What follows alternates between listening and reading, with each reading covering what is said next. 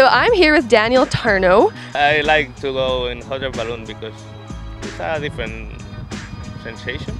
There's no noise, there's no movement, there's no wind inside because you go and you're traveling with the wind.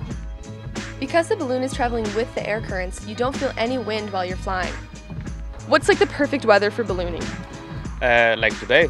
It was a beautiful sunny day. The wind was only about 6 kilometers per hour.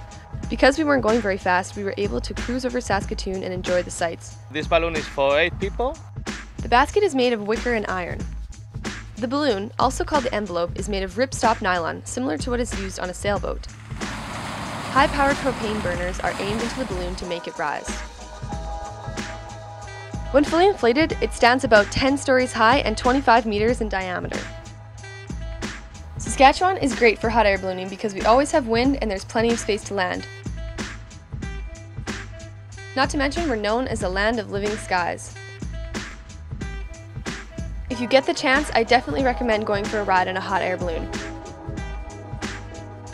For more information, you can visit sundanceballoons.com.